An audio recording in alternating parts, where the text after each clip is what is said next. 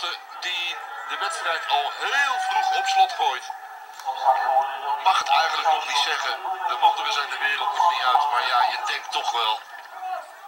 Met al het voetbal dat je al gezien hebt, dat jong PSV hiervan niet meer gaat herstellen. Maar het is de keukenkampioen-divisie, hè? Je weet het allemaal nooit.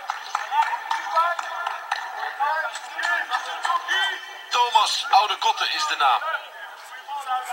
Ik schrijf alleen Oude op, want het is ook I'm done. Hey.